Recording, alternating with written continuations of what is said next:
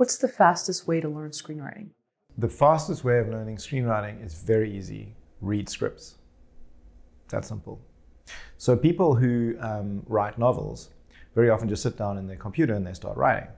But chances are they've read lots of novels in their lives, almost certainly. So, there's this famous saying, you know, if you want to learn how to write, you just read, read, read, and write, write, write. So, script writing is exactly the same. Read lots of scripts. What I find really strange is um, participants at my workshops and people who come to my talks and stuff, I'm like, how many of you have read a feature film script?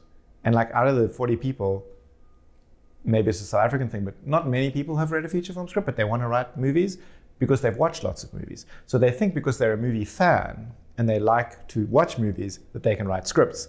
And I'm like, but you've never seen this document of a script properly. You may have read, you know, uh, transcriptions of scripts, but you've never looked at the formatting and the layout and the style and the structure and all this kind of thing. So I would say just read as many scripts as you can, and they're all available online. You know, there are websites where you can get them, and just because I mean, I think that's how we learn. It's just from reading. And I mean, if you read many, many feature film scripts, then you'll end up writing feature film. That's the for me, that's the fast track to writing good scripts is reading lots of scripts.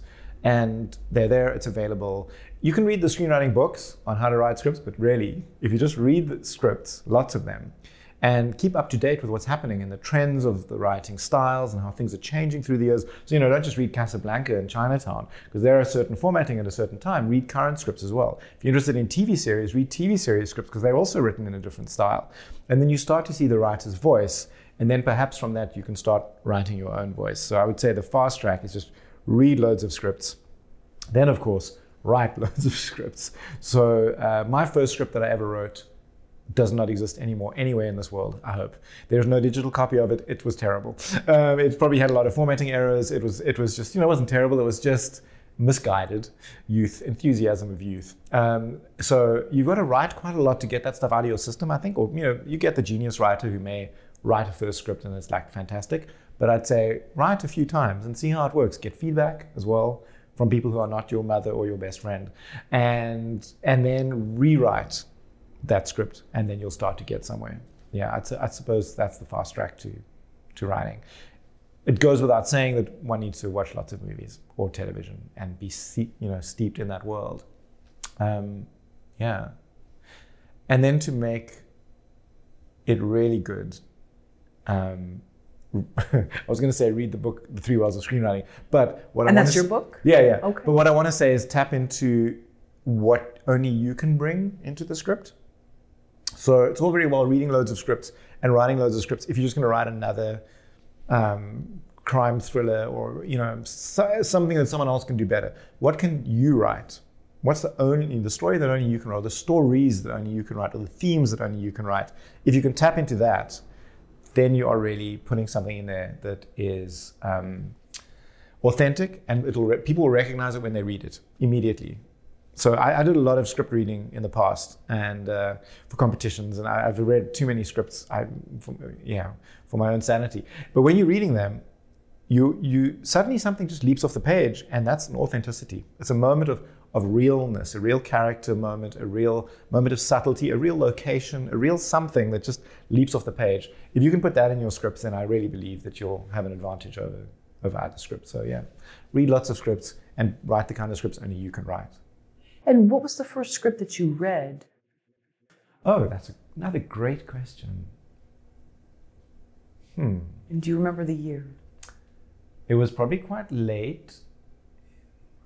I was uh, while I've read plays. So you, the first things I read were plays, stage plays, before I read scripts. Um, things like Waiting for Godot and these like plays that are you know the standard plays you read if you're doing an English degree or something. Like in South Africa, we read some plays, um, and the first script I read was probably Cinema Paradiso. I don't know if you know that. It's a it's a movie by an Italian filmmaker, Giuseppe Tornatore, and he won the um, he did win the um, many many years ago. He wrote this beautiful movie, Cinema Paradiso, and, and, shot it, and it's great. And I love that movie, and I think that was the first script I ever bought and the first script I ever read.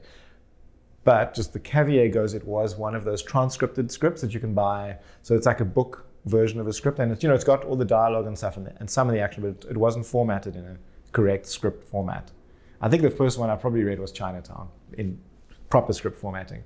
But I remember buying the book of Cinema Paradiso and reading it and being able to picture all the scenes in my head. And that's a that's a real skill that people kind of have to develop. You know, you've got to buy the, you've got to read these scripts to picture it in your head, to feel what it feels like, so that when you write it, you can make someone picture those scenes in their head. It's a, it's a different thing. I, I often say um, that for me, when people think they can write scripts without reading scripts, it's like going to a classical concert and listening to a piece of classical music and thinking, oh, I love this music. I'm going to go home and write some music now.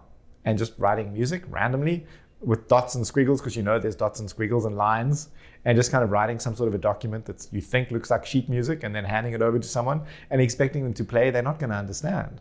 And it's like an architect going, you know, if you see a beautiful building and you think, oh, this building's really beautiful, I love this building, and I like buildings and I understand buildings and I, I like Art Deco style, I'm going to go home and design a building, and you just kind of design the building without having looked at blueprints or read sheet music. That's why you've got to read scripts. A movie is not a script. It's a it's a different thing. They serve different kind of functions almost. So yeah. So So you can't be Frank Gehry unless you.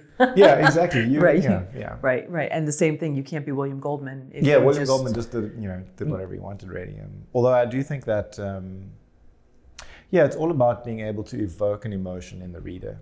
So maybe they could, they could do that. They already had a way of doing it somehow in their writing, you know. So that's, yeah, I know. It's a, Well, I think people think of the notion of genius or savant or something, and they think, well, maybe I can duplicate the same without having to take all the steps Mm-hmm. Yeah. in between. Yeah. And and I think, you know, we hear these stories of, Mm. of people just from from you know age five Yes. being able to do something amazing. Exactly. And maybe it is inside of us, but it needs a little coaching or Yeah. I think screenwriting, though, is a bit of a craft. So you don't actually hear of savant screenwriters. Like, I've never heard of a five year old writing a great script or even a 17 year old writing a great script. Sometimes you can get, you know, the woman who wrote Juno, um, I forget, she was quite Diablo Yeah, she was relatively young when she wrote that.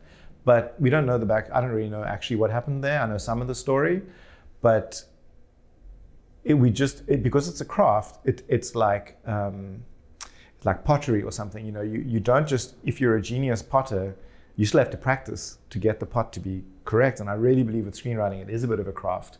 And so uh, we don't get these savants. We just don't. We don't get the great 17 year old going to fetch the best screenwriting award. Not yet although it might change. Because the youngsters nowadays and the access they have to filmmaking ability is very exciting and amazing. I mean they've got thing phones you know stuff on the apps. They can just make music videos just like that. So maybe it'll change. Maybe in the future the ability to make what's in your head won't have this craft in between step and maybe we'll have youngsters making the best films ever. Who knows? Would be nice